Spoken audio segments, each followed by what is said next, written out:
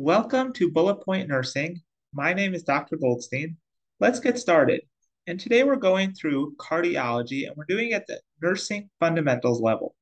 Let's begin with a little bit of anatomy and physiology. And you're likely familiar with a good background on this, but let's talk about some things that you'll need to know to understand cardiology at the nursing level. Remember, the heart is a four chambered pump, and remember its job is to pump blood throughout the body. The atrium are responsible for pumping blood to the ventricles, and the ventricles are responsible for pumping blood out. The right ventricle pumps blood out to the lungs, the left ventricle pumps blood out into central circulation. Cardiac output is how much does the heart actually pump out as a pump. And the calculation for this is stroke volume times heart rate. And let's figure out what this means.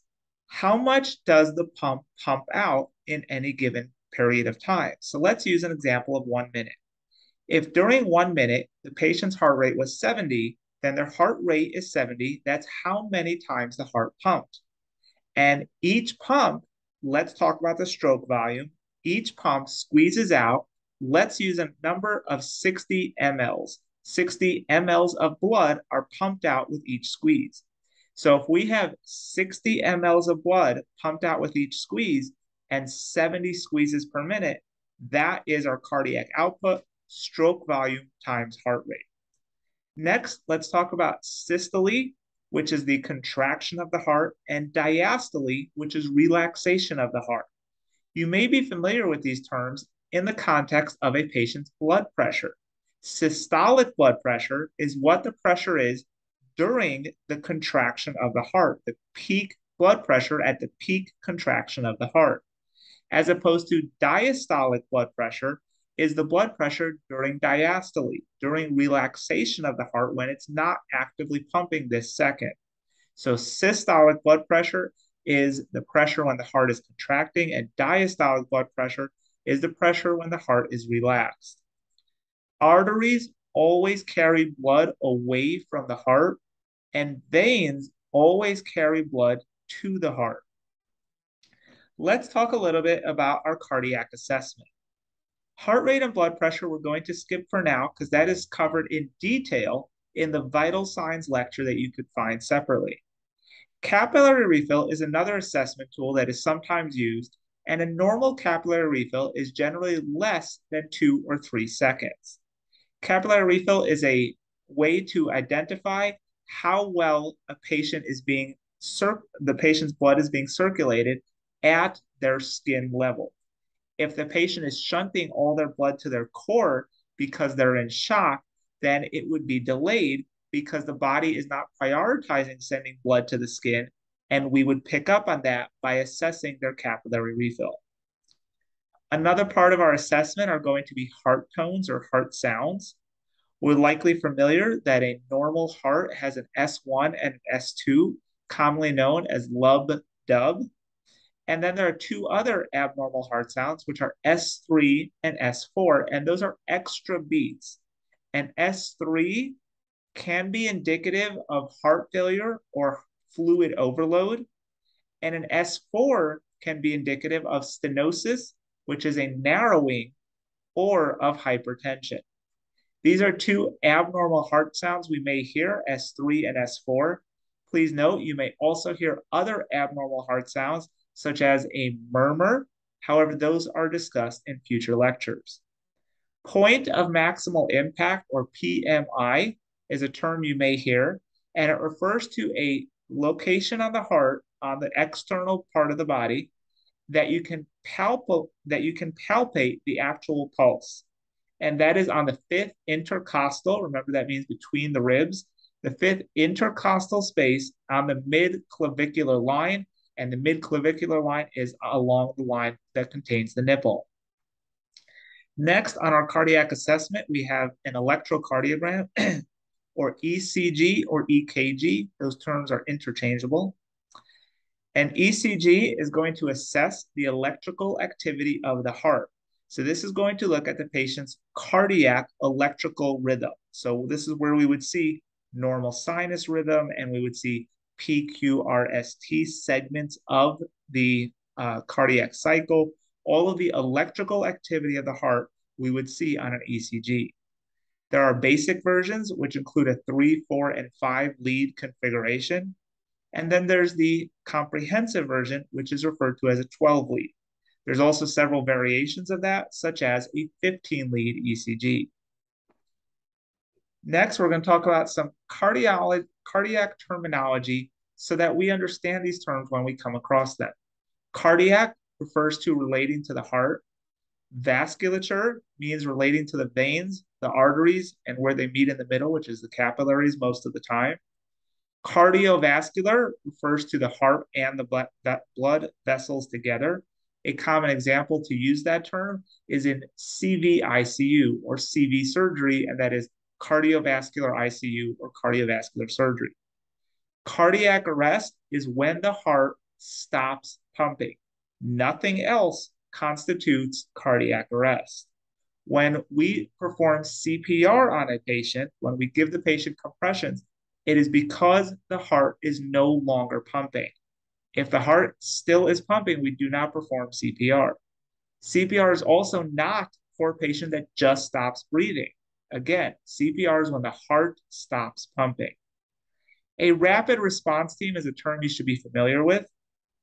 And this is when a team is called for a patient that had a sudden negative change in their condition. For example, they start seizing, or they suddenly no longer know where they are, or their blood pressure suddenly drops. All of these are sudden acute changes that would possibly necessitate a rapid response team. Please note that rapid response teams are generally not used in ERs or ICUs because all the resources that a rapid response team brings are usually already in the ER or the ICU. However, on, for example, a med surg unit, if a patient suddenly starts to have their blood pressure drop or starts to have signs of a stroke, you would absolutely call a rapid response team so that we can get all the necessary providers at the bedside to rapidly take care of the patient instead of waiting till they deteriorate further and then waiting to call a code blue. Defibrillation is giving a patient an electrical shock, and it is meant to stop all electrical activity in the heart. This can be delivered via a defibrillator or an AED. It can also be delivered via an internally implanted defibrillator, where the patient has one implanted in their chest in case they ever need it. Next, we're going to talk about a pacemaker. A pacemaker also can be implanted internally or externally, and it's used for a variety of conditions that, we'll, that we will discuss in future lectures.